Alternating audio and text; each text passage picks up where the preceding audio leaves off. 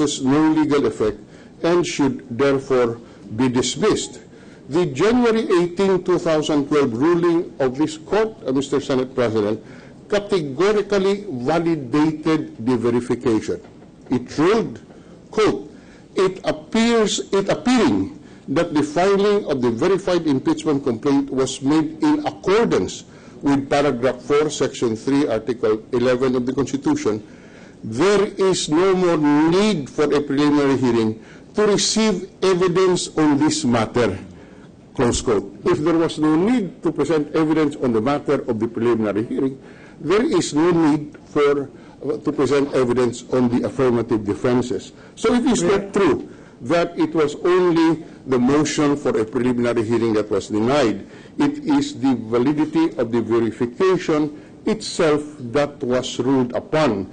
And the purpose, obviously, of a hearing on the uh, affirmative defenses is to have the case dismissed because of lack of uh, proper verification, which has already been ruled upon by this court on January 18, 2012. Thank you, Mr. President. If that, if that commentary, Your Honor, was made by the members of the prosecution arm, we would have no objection, Your Honor. This So we the are, we are worried, Your Honor, that this may be interpreted, Your Honor, as an argument by a prosecutor. I take exception to the statement of uh, the prosecution of the defense counsel, and that is totally improper. We are just What- reading, I am still speaking.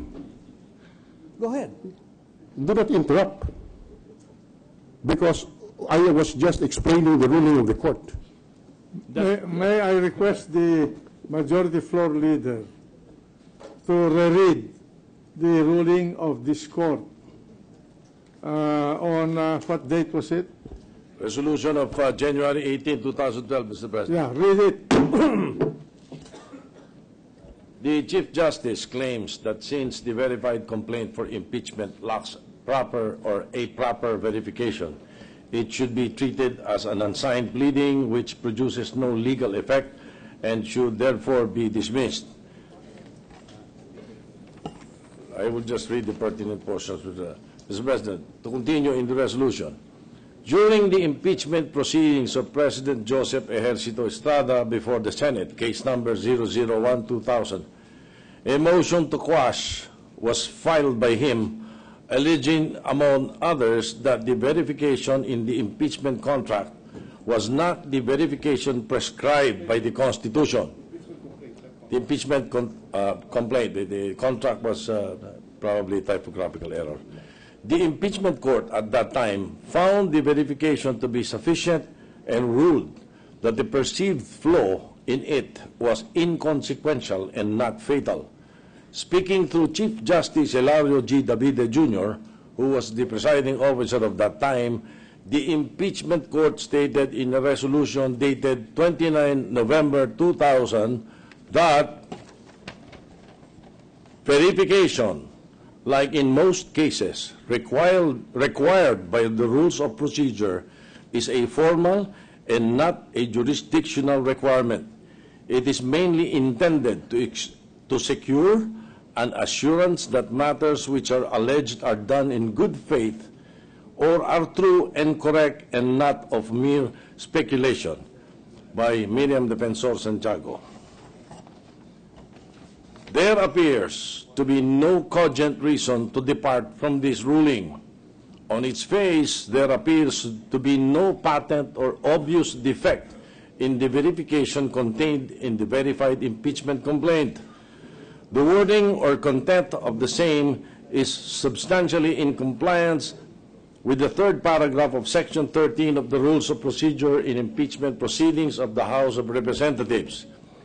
It is not necessary for the verification to be couched in the language of the rules of court, inasmuch as this particularly wording is not strictly required by the Constitution. If this had been what was required, the Constitution would have specified the exact required wording of the verification. A verification is an oath or affirmation.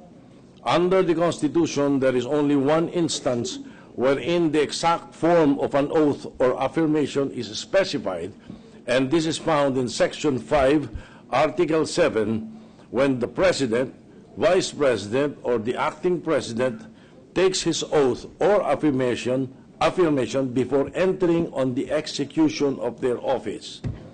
Since there is no precise wording required for the verification of a complaint in case of impeachment under paragraph 4, section 3, article 11 of the Constitution, the actual verification in the complaint as per the rules of impeachment of the House of Representatives is sufficient and adequate for the purpose.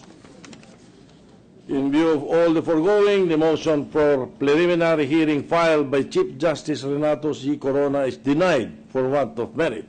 January 18, 2012, Mr. President. All right, uh, we have discussed this uh, lengthily. May, may we recognize Senator Arroyo, Mr. President, uh, before... The gentleman from uh, Makati and Bicol.